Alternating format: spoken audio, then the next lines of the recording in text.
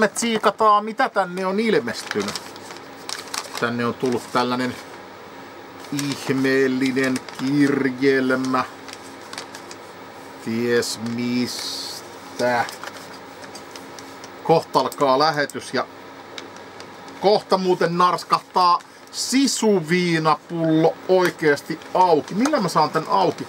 Saatana, kun nämä ihmiset laittaa niin hyvin. No toisaalta kun posti heittelee niitä tuolla pitkin, niin onhan se hyvä ollakin. Ja toi perkeleen teippi. Vittu mua naurattaa, kun Rontti oli kerran tonkinut roskista, niin sillä oli noukassa kauhea kasa teippiä.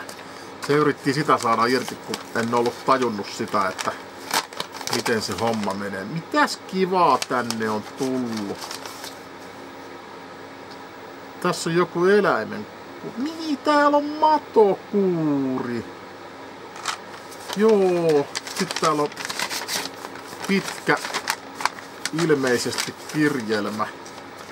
Täällä on piirretty kaunis syksyinen maisema. Tässä olisi pillereitä rontille. Yksi tabletti 35 kiloa yhden kerran, eli riittää kahdeksikin kerraksi. Piti lähettää jo maanantaina, mutta kun on niin laiska. Ihanaa. Kiitos. Kiitos.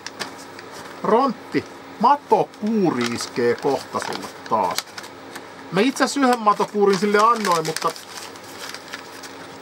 mä mietin, että voiko matokuuri tehdä tota hommaa. Tai siis jos koirassa on matoja, mä oon madottanut, to, siitä on kyllä vittu aikaa. Siitä on matokuuri aikaa, niin ai vittu, ja tämähän se sitten onkin taas temppu saada tälle herralle vittu nämä.